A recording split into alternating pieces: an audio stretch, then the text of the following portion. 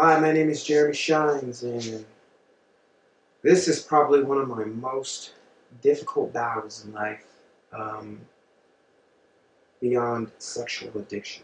This would probably be the second. Alcohol.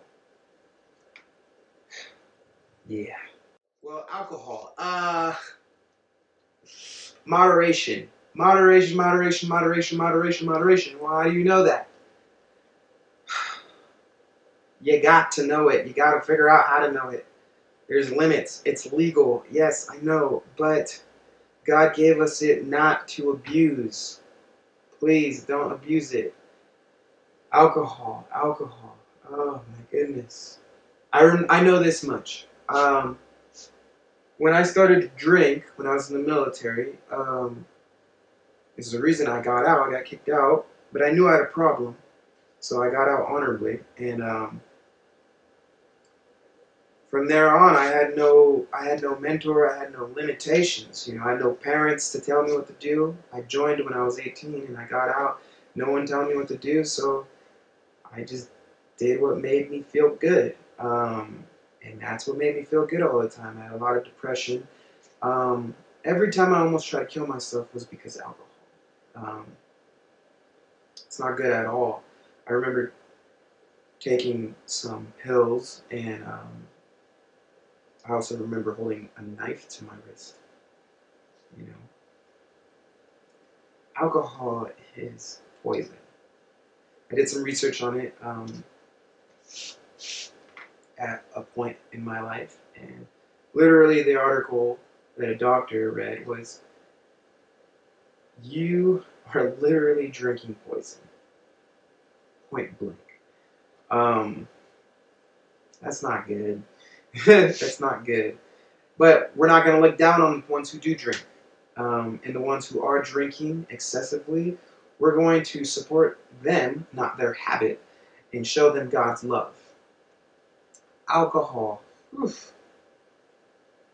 I mean, dang.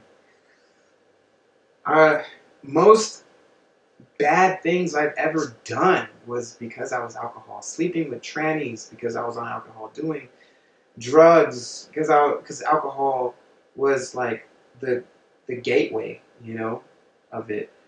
Um, all these things were alcohol based, you know. So I thought it was small, and then it grew, you know. Um, man, but now being saved, whew, alcohol is totally bad, you know. And to my perspective, unless you know how to control it, if you're growing up with abusive or addictive parents who are addicted to it, isn't you're gonna probably more likely be addicted to it too.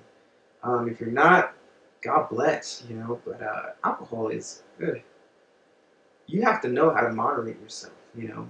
And a lot of us, as being young or being in that mentality, which is the ego, I can handle this. No, no. Like if you say that you want, and I've tried, that I'm not going to drink on this day, and you drink, you are not in control.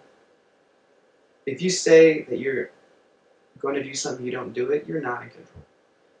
It's in control of you.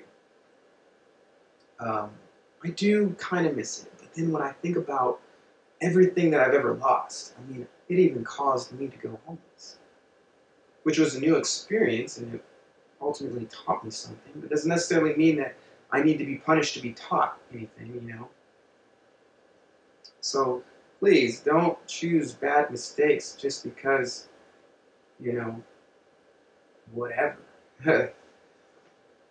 Take it in moderation. Know your limit. How do you do that? You know, you're gonna experience it more likely. You're gonna have those times when you're you're gonna get drunk. You're gonna do this. You're gonna do bad things. But let that one teaching be taught. Okay, that's my limit. You know,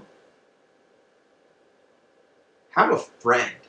Develop a friend that tells you the truth, not someone who's just encouraging you to go deeper into sin, but one who's like morally and spiritually balanced.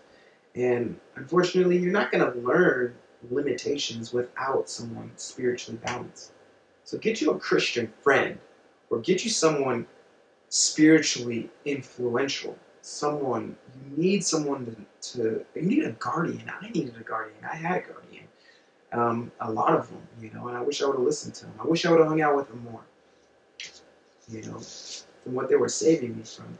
But I was hanging out with the people who were like, jug, jug, jug, more, more, more, and man, put me in some places in life. I don't hate them. Um, pray for them, you know, but alcohol is dangerous. It's dangerous. It.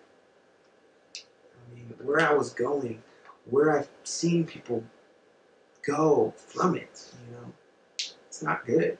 It's literally poison. So, if you do drink, drink in moderation. And if you don't know how, you need to find something spiritually to guide you. And I'm not for any other spiritual religion or anything like that. I'm all about Jesus. Jesus is not a religion. He's not a religion, he's a relationship. So please moderate yourself. You know, it's okay to drink and just relax. But if you're going above and beyond, and I am a hypocrite of it, I know it. Because the things that I've done are no, so who am I to tell you? I know pain, you know, and if you want to know pain and you want to know more about pain, you drink. Someone told me that alcohol is the fastest way to hell, and I know that for sure. I was an alcoholic for five years, and God set me free. He can set you free, or He can keep you from falling into that chamber of darkness. In the Bible, it says that wine, which is alcohol, is for those, those who are dying, those who have no hope. For if you want to be in command and be in charge of your life, you don't drink, and you will not. But if you don't care and you're dying, come on, man.